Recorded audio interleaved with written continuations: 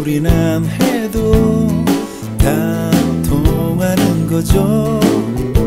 서로가 다른 곳에서 같은 노래를 듣고 같은 하늘을 바라봤을 거예요.